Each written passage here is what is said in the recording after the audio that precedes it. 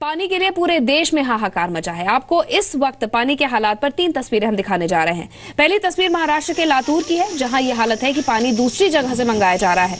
दूसरी तस्वीर टीकमगढ़ की है, जहाँ स्कूल की जगह पानी भरने के लिए बच्चे मजबूर हैं। तीसरी तस्वीर छतरपुर की है। यहाँ थोड़े से पानी के लिए लोगों को कई किलोमीटर दूर चलना पड़ है, रास्ता तय करना पड़ता है। पानी के लिए लोग यहाँ जाने में जोखिम भी उठा रहे हैं। जान जोखिम में डालकर आप देख सकते हैं कितना मुश्किल ये रास्ता है जिसके ऊपर चढ़ के ये लोग पानी भरने के लिए जा रहे हैं। तो पानी की किल्लत ऐसी है कि देश के अलग अलग जगहों से ये तमाम तस्वीरें सामने आ रही हैं। काली गंदी रेत से तिनका तिनका साफ़ पानी खोजते इन हाथों को देखकर ये समझने की भूल मत कीजिएगा कि इन्हें हीरे की तलाश है ये महिलाएँ पानी ही खोज रही हैं और इसी पानी से अपने और अपने परिवार की प्यास बुझाती हैं। गंदा पानी पीने की ये मजबूरी की तस्वीरें हैं एमपी के बैतूल के आठ नेर विकास खंड के गाँव गाँव सालई ढाना की जिस पानी को हाथ लगाने से भी हाथ गंदा हो जाए सालाई ढाना के लोगों की किस्मत में यही पानी पीना लिखा है। चिलचिलाती धूप और पथरीले रास्ते पर गाँव की महिलाएँ रोज़ाना पानी की तलाश में निकलती हैं और जैसा भी पानी मिलता है, लेकर घर आ जाती हैं। मीटर दूरी पर हमें पानी लाने जाना पड़ता है सर।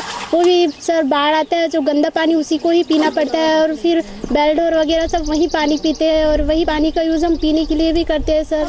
परेशानी तो यह है कि हमको पहाड़ी चढ़ना पड़ता है और वहीं पे गैया ढोर बैल पानी पीते हैं और उसी को गंदा पानी को हमको पीना पड़ता है। नदियों के किनारे रेत में गड्ढा खोदकर पानी खोजना रोज़मर्रा की ज़िंदगी का हिस्सा बन चुका है। आलम यह है कि नदी के जिस घाट से पशु पानी पीते हैं, उसी घाट से इन महिलाओं को अपने परिवार के लिए भी पानी लेने की मजबूरी है।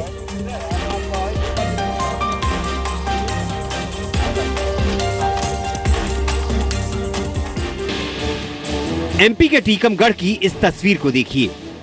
ये कोई गुंडे, बदमाश या फिर किसी की सुरक्षा में तैनात नहीं है। हथियारबंद इन लोगों को नदी के पानी की चोरी रोकने के लिए तैनात किया गया है। तस्वीर थोड़ी चौंकाने वाली है लेकिन एक एक बूंद के लिए जिस तरह से चारों ओर हाहाकार मचा है हकीकत यही है। सर पानी की रखवाली करते हैं। तो किसकी तरफ़ से नियुक्त हैं? हमें नगर पालिका ने नियुक्त करो है अध्यक्ष जी नगर निगम ने जामनी नदी पर ये पहरा बिठाया है। टीकमगढ़ से लगे यूपी के सीमावर्ती गाँव के लोग जामनी नदी में पंपिंग सेट लगाकर पानी खींच लेते हैं। इससे नदी में पानी का संकट बढ़ जाता है, जिसका असर टीकमगढ़ में पानी की सप्लाई पर पड़ता है। अब इस तस्वीर को देखिए। ताले में बंद कुआँ देखा है कभी? झारखंड की राजधानी रांची की ये हकीकत है। लोग पानी चोरी न कर ले, कुएँ में ही ताला लगा दिया गया।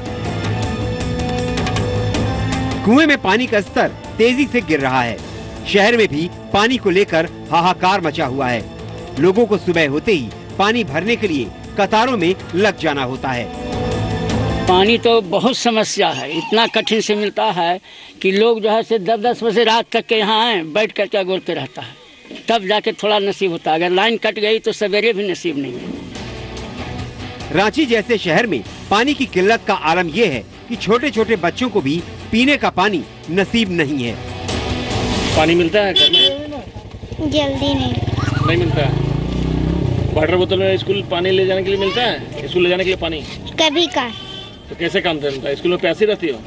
अपनी दोस्त लोग से मांग के पीते कहीं प्यास से लोग मर रहे हैं कहीं सूखे से हार कर किसान आत्महत्या कर रहे हैं। पानी के लिए पहरा बिठाया जा रहा है तो कहीं कुएँ में ताला लगा है। हालात बद से बदतर होते जा रहे हैं। लेकिन सरकार मानो भगवान के भरोसे बैठी है। बारिश होगी तो पानी मिलेगा। टीकमगढ़ से आरबी परमार, बैतूल से प्रदीप परिहार के साथ आशुतोष कुमार, जी मीडिया, रांची।